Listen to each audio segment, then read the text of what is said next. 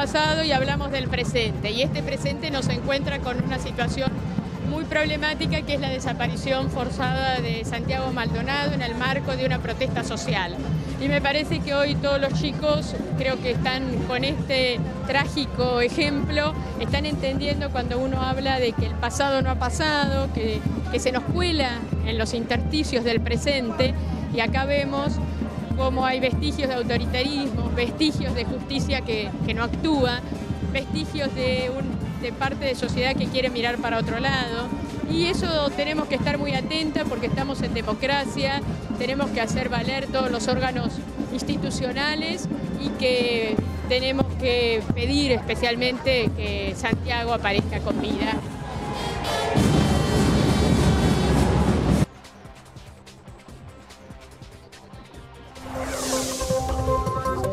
Este fin de semana con mucha actividad en Berizo, este sábado 16, por un lado la entrega de diplomas a los inmigrantes con más de 50 y 75 años de residencia en el país, posteriormente el concurso de comidas típicas Los Sabores de Berizo en el hogar árabe y el eh, domingo 17 uno de los momentos más esperados que es el desembarco simbólico de los inmigrantes acá en el puerto local desde el mediodía con espectáculos artísticos y comidas típicas y a las 3 de la tarde el desembarco simbólico. Es irrepetible en, otra fiesta de colectividades o, del inmigrante del país, es un evento único eh, en donde, bueno, eh, es uno de los momentos más emotivos de, de esta fiesta. ¿Qué características va a tener el desembarco? ¿Va a ser similar al de otros años?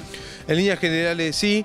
Eh, a, esta, edición, por ejemplo, en la parte gastronómica se está sumando la colectividad colombiana, una colectividad residente en la ciudad de La Plata, que va a estar aportando sus comidas típicas. Este desembarco en el marco de los 40 años eh, va a estar jerarquizado también porque se va a estar implementando el programa Festejar, eh, aportado por el Ministerio de Cultura de la Nación, es decir que ya en las próximas horas se va a estar montando un gran escenario en Montevideo y Teresa. Queremos eh, la reincorporación de la directora de la escuela y de sus respectivas maestras. Porque nuestros chicos no tienen clases de hace una semana. ¿Qué grado no tienen clase? Eh, primero, tercero, los dos terceros, un cuarto y un quinto no tienen clases. ¿Y ustedes están pidiendo puntualmente qué cosa? Que se reincorporen las maestras o si no que manden alguna suplente, porque no hay clases y no nos certifican suplentes en la escuela. Y pedimos a la Fiscalía y a la Dirección de Escuela que, le garanticen también esa presencia, sin que el hombre este le, intimide, ¿no? Porque intimida a todas las personas.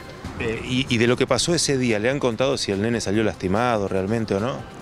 Sinceramente yo no vi nada, yo estuve ese día ahí y no, no vi ni un moretón, no vi ni una mancha, no vi que salió llorando, el nene salió normal, tranquilamente.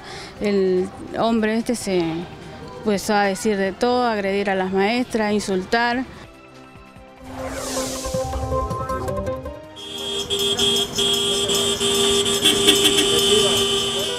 Mira, hoy estamos haciendo un pintorazo y un bocinazo, le estamos pidiendo a, los que circulan por acá que nos acompañen, eh, que es la manera más pacífica que encontramos frente a la violencia simbólica del silencio y el hermetismo del Ministerio de Educación que tiene un jardín de infantes terminado, así como nos pasó con el maternal que terminó abriendo en mayo, ahora nos pasa con el jardín 989 que está al lado, con el que tienen que articular los niños que salen con dos años de edad, que egresan del maternal y no tienen ni siquiera la posibilidad de inscribirse, por falta de voluntad de los funcionarios, porque el jardín está terminado, pese a que digan lo contrario. ¿Ya está para habilitarse?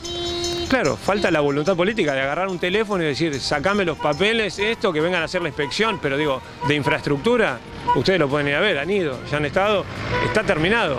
Y, lo que más bronca da, que si faltan cosas por hacer, que serán mínimas, ves que están trabajando en la plaza y en el jardín no hay nadie.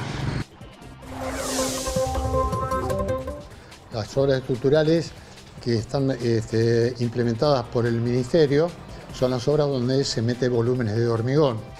Pero también hay que hablar de las otras obras que no son estructurales, que son los planes de alerta y plan de contingencia, que es de neta responsabilidad del, del municipio. Quiere decir que cuando hablamos de obras, hablamos de las obras que se están viendo, más las ausentes que todavía no se han implementado, no se han tomado decisiones en cuanto a qué hacer. ¿A qué nos referimos con las ausentes? Nos referimos a aquellas que no están licitadas y aquellas que eh, sin licitar no se ha tomado una determinación de qué es lo que se va a hacer. La, estrategia de ejecutar las obras... Se trata de una resolución donde la aplicación digamos, del Cambio Rural 2, que es un, un programa que se estaba instrumentando a través del INTA, con el apoyo técnico, con técnicos en el territorio, a través eh, con trabajando directamente con los productores en cooperativas y en asociaciones. Eh, eso posibilitaba, la mejora en la producción, el alimento que más sano, de mejor calidad a la mesa de todos. Estamos hablando de un gran, gran porcentaje de alimentos producida por manos migrantes, lo cual vemos con alta preocupación la resolución esta del Ministerio de Agroindustria de dejar fuera justamente a la este, gran mayoría de productores, de agricultura familiar a lo largo y ancho del país, pues no es solamente una medida para la provincia, sino que es para todo el país. Bueno, esta actividad es una intervención eh, política cultural que tenemos acá. Esto viene en respuesta a todos los hechos de violencia que venimos viviendo como comunidad. Eh, por ejemplo, el hecho de violencia que vivieron dos chicos gays acá en Diagonal 86. Sí, acá a eh, metros de donde estamos. A metros, acá enfrente justo. También lo que vivieron los chicos en Rey Lagarto, que dos patubicas los echaron por estar besándose. Y nada, la, violencia cotidiana que vivimos en, la ciudad como en todos lados, solo por el hecho de existir, por el hecho de ser quienes seamos, por el hecho de expresarnos como nos expresamos, por no seguir una, una sexualidad y una norma eh, física, eh, verbal y lo que sea, que, está predeterminada para la gente y que nosotros no, no la seguimos de esa manera. Eh, nosotros decidimos expresarnos de otra manera, más allá de nuestra elección sexual, más allá de nuestro género. Volvió el barquito, se hizo rogar, pero bien, gracias a la gente de Astilleros Río Santiago, este, a la decisión de, Julio Garro, al equipo que hemos armado para llevar adelante este proceso de refundación. Estoy muy contento, muy emocionado. Es un equipo maravilloso, eh, muchas ganas y todavía falta el mar, o sea que hay que armarlo. Falta toda la cabina, mañana vamos a poner en marcha y ya si Dios quiere este, lo vamos a inaugurar muy prontito para que el día del estudiante, el día de la refundación, podamos disfrutar nuevamente toda la familia el legendario barquito de la red. ¿Qué se le hizo, Manu? Se le hizo todo. Es más, podés preguntarle acá a, la jefe, a, los muchachos.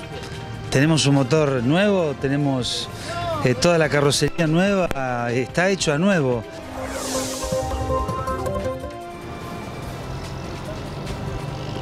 Todos los días pasa lo mismo eso. ¿Todos los días pasa un accidente? Sí, sí, sí.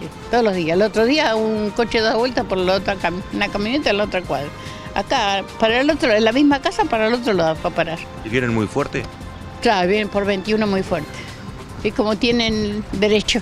¿Y qué? ¿Pero se rozaron ahí en la esquina ahora? Y sí, apenas lo tocó, pero porque el otro coche no tenía nada. Pero se fue para arriba, se fue. Tocó, rompió el. Rompió el. ¿Cómo se llama esto? El cordón, el cordón.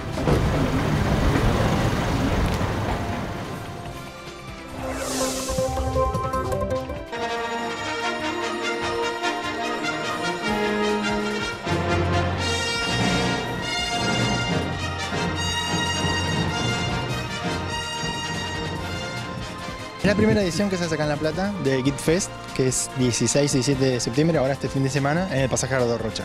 El objetivo es eh, mostrar todos los artistas, emprendedores y creativos que hay en la ciudad en un universo geek, que es el universo de cómics y tecnología. Es una combinación de eso. Ahí van a poder encontrar desde impresiones 3D, realidad virtual, eh, muchos cosplay que son los que interpretan a los personajes de, por ejemplo, de Star Wars o de Volver al Futuro. Y después drones, shows, recitales, eh, simuladores de TC, un montón de cosas para disfrutar. Está planificado para toda la familia. Los menores de 10 años entran gratis